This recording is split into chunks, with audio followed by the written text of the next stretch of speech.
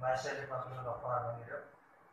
I had BS in Zoology Department, Garrison University, Jamshoro.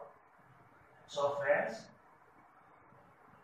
my YouTube channel name is AGM Biology. So please subscribe that channel for the latest updates. So friends, today the topic of my lecture is metamorphosis. Metamorphosis is a series of changes which occurs in larva up to reaching at adult stage.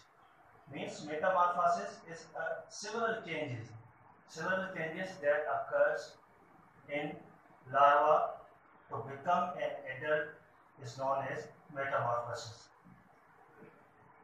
There are many characters which are lost or which are adopted during metamorphosis.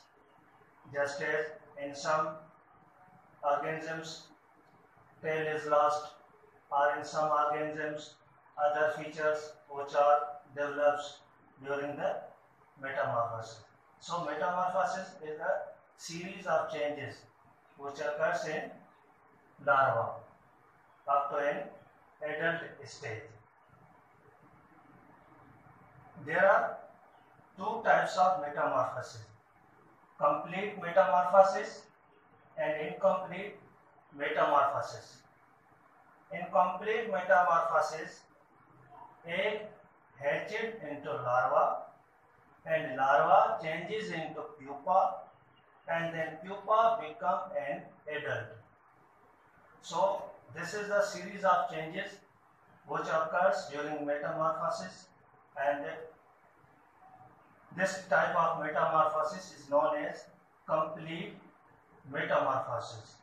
Means firstly egg is formed, then egg hatched into larva, larva hatched, uh, larva develops into pupa, and then pupa develops into an adult. The second type of metamorphosis is incomplete metamorphosis.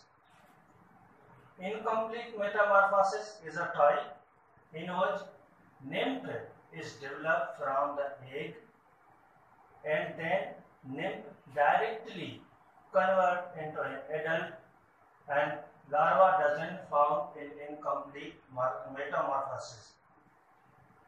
Nymph contain also the adult characters but due to the vestigial wings and due to the lack of the reproductive organs, it is known as a incomplete metamorphosis.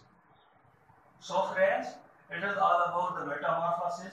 Metamorphosis occurs in many animals, just as arthropods or any other animals which are present on the in the world.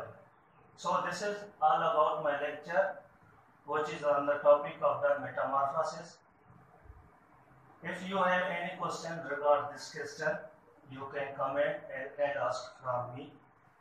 So friends, please subscribe my channel by name AGM Biology. Thank you so much.